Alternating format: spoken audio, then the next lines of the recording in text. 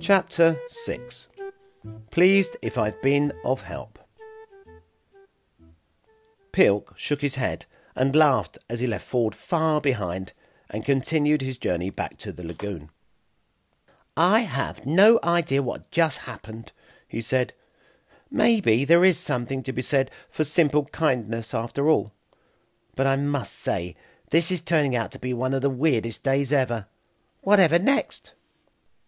He was slowly realizing that he seemed to have a knack at talking himself out of tricky situations, but he still had to deliver the goods. The fruit, of course. This is getting to be something of a shopping list, Pilk muttered, whatever that is. I think I'd better make a note of everything that I need to remember. So he found a convenient tree stump, sat on it, opened his bag, and pulled out a large leaf and a small leather pouch which held some red coloured powder. He used the red powder to make paint and create pictures and symbols on cave walls, the way that Nina, the tribe's elder, had showed him how to do. He felt as if he had been quite a good student of Nina's, and wasn't too bad an artist either, even if he did say so himself. Pilk licked his thumb and dabbed it in the red powder. Right, let's see now. I need to make a mark for the fruit that I won down at the lagoon. And he made a single red mark on the leaf with his thumb. And then, of course, I have to get two for a fruit as well, because two for wants one too. And Pilk put a second red thumbprint beside the first one. And I'd better not forget Evie, or I'll end up as target practice for a catapult. A shiver ran down his back while he put another red mark by the first two. And Ford as well. Forest fighter Ford, he said in a voice imitating Ford's, and he put one last mark beside the others. He looked at the four marks, and he felt quite pleased with his efforts. What are you doing, Pilk? said a quiet voice a little way up the path. It wasn't a gruff voice like Toofer's, or screechy like Evie's, or bellowing like Ford's. It was soft and friendly and pleasant. It was Vienna's voice, and Pilk had to admit that he was quite pleased to see her. Ah, uh, hi, Vienna, he said in a slightly surprised voice. Goodness, you won't believe the day that I've had. I've had to escape angry apes and avoid getting bashed, catapulted, and thumped. Oh dear, Fiona chuckled. You have had a busy day, haven't you? What were you doing with that leaf? Oh, groaned Pilk. I'm trying to put some things down that I need to remember. My life won't be worth living otherwise. I've been told that a few times today. Fiona came over and sat down beside Pilk to get a better view of what he was trying to do. What are those marks for? she asked Pilk. What, these? he said. They're just fruit. They don't look much like fruit. They just look like thumbprints to me. Well, they are thumbprints, really, Pilk replied, but they're meant to be fruit. Why have you got to remember fruit? she asked. I suppose I should have mentioned that. I've got to take fruit back to Toofer and Evie. Oh, and a guy called Ford, Pilk told her. Why have you got to take back fruit? she said. Well, I managed to talk myself out of trouble, so far at least, but only if I take fruit back, in exchange for not having my body parts rearranged. Oh, so it's bribery then? Fiona laughed. Pilk laughed back. Yes, I suppose it is, really. Well, between you and me, I don't think it's all that bad, she said. It shows you're being smart, surviving another day. Pilk found that somehow comforting, and wondered if he was blushing. They are quite pretty, though, aren't they? Fiona said. What are? Pilk said, not sure what Fiona meant. The marks that you've made, she said, pointing at the leaf. There, look. Pilk looked at the leaf, but all he could see was his thumbprints dotted around. They're just a bunch of thumbprints, aren't they? he said, shrugging. Give it here, she said. I'll show you. She picked up a small twig and took the leaf from Pilk and dipped the twig into the red powder. Then she drew a line between two of the thumbprints and showed it to Pilk. There, what does that look like? she asked him. Uh, thumbprints and a line, he ventured.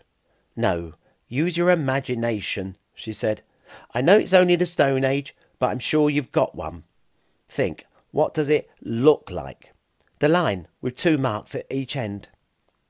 He looked a bit harder and squinted his eyes and tried to work out what she was trying to tell him. After a few long moments, he finally said, A bone? Yes, she cried in relief. That's a pretty good description. The point is, it's a symbol. You know, like the ones that Nina shows us. It's not a picture of the thing itself, it's a symbol. A symbol for what? Pilk said, still not really getting her point.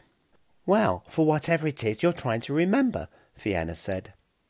What, you mean like the fruit? Pilk replied, slowly coming around to what she was getting at. Yes, of course, the fruit, she said, appearing slightly exasperated. What is it with boys? You have to spell everything out for them. Pilk was honestly doing his best to understand what Fianna was trying to explain, and he felt like he was just on the edge of grasping it. What were you saying just before you knew that I was here? she asked him. He scrunched up his face and he tried to remember. Um, that I needed to make a shopping list, whatever that is, he said. No, after that, she said. You were going through a list, I think while you were putting marks down on the leaf. Oh, that, he said. I was trying to think of an easy way to remember what fruits I needed to get, and I started by putting a mark down for my fruit, the fruit that I beat the angry ape to. Yes, that was it. But you called it something, she said. Was it winner or win or won? Won, Pilk said, because I won it from the ape. Yes, that's right, Fianna cried. That symbol can stand for one, the first fruit, your fruit. And didn't you say something about Toofer? Pilk felt as if he was finally starting to make some progress. Yeah, I did talk Toofer into not bashing me if I went and got him some fruit too. There you go, Fianna announced happily. You've got a name for the dog bone symbol now. Just call it two. For Toofer's fruit. Simple as that. Huh? Pilk said, a little confused. What symbols? God's in the stars. I knew I was going to have to do this, Fianna said. Let's do this slowly. That thumbprint, all on its own, you can call that one. And a dog bone shape can be two, because you've got to get two for two. Oh, I see, Pilk said, the picture finally starting to become clear. And maybe Evie's symbol could look like this, he said, a little more excited. And he took the twig from Fianna and he joined three thumbprints together to make a triangle. Although, of course, he didn't know what a triangle was. This is long before maths lessons. How's that then? he said, happily, showing his new symbol to Fianna. By the stars, I think you've finally got it, Fianna said. I think there's hope for you yet and you can call that symbol free, because Evie set you free. Oh, and I've got another idea, Pilk said, and he turned the leaf over and quickly pressed four red marks on it with his thumb and joined them together with lines in a square. He held it up so Fianna could see it and said, I think I'm going to call this symbol 4 for my new friend Ford, because, well, I think I taught him friendship is worth fighting for. Well done, Fianna said. I'm proud of you, and pleased if I've got anything to do with you learning something new. He had learned something new from Fianna, he had to admit, and he felt as if he had just moved into a new era of something that he couldn't quite grasp. Well, I'm pleased if I've been a good student for you, Pilk said. Maybe some day somebody will tell a story about this. Yeah, well, don't get too big headed about it, Fianna said, slightly scornfully. you didn't exactly come up with it all by yourself. Pilk sat silently thinking about that for a second. And then he said, Do you know what, Fiona? I'm going to tell you something that someone once told me not too long ago. And what's that? Fiona said, with an expression that clearly showed she wasn't expecting too much. And in a voice almost exactly like Toofer's, Pilk said, You has too much brains for one person. Fiona looked at him solemnly, and then her face broke into a smile, and they both burst out laughing, enjoying the joke and what they had learned from each other. Thank you.